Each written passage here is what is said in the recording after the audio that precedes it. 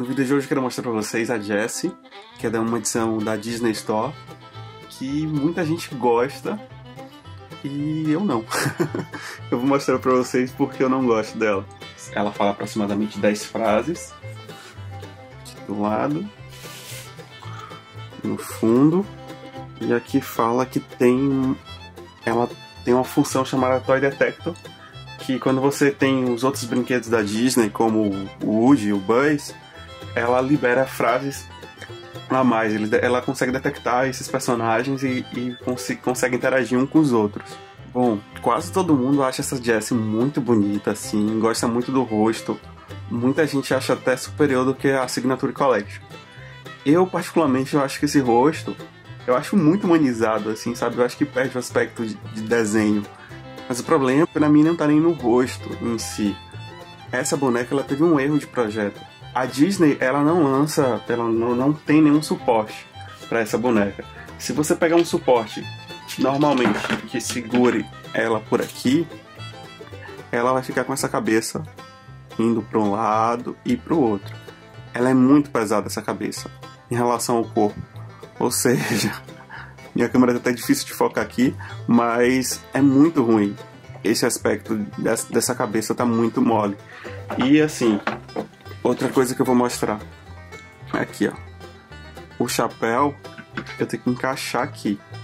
E o chapéu deixa ela muito mais pesada. Aí dificulta todo o processo. Com o chapéu fica muito pior. Olha para isso. Para você quebrar uma boneca dessa em um dia é muito fácil. Assim, por sorte eu tenho, eu tenho um suporte aqui da, da Jess para conseguir mostrar melhor para vocês segurando pelo pescoço, ela fica bem.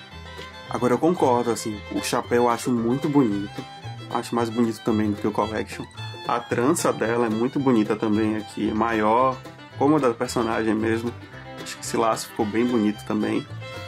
Eu gosto da roupa. Ela tem um o cinto de, de plástico, no caso aí não vai ter problema de descascar em relação como a Collection aconteceu. Aqui também não vai ter problema de descascar com aquele corino da Collection.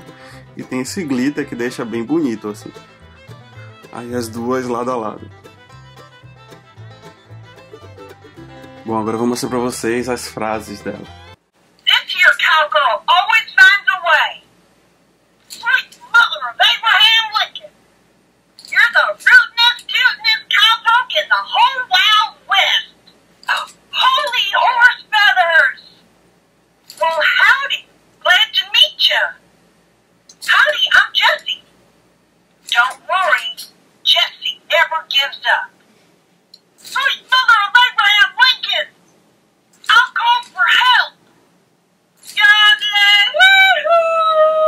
Então, se você gosta muito dessa versão, eu recomendo que você tente procurar uma super base assim para conseguir colocar ela. Então, tentar deixar ela numa posição muito muito certinha para não ter problemas no pescoço. Ela custa aproximadamente 33 dólares, valor cheio do, do site da Disney, mas sempre entre promoção, fica até por 20 dólares. E eu acho que na Europa ela custa em torno de 30 euros.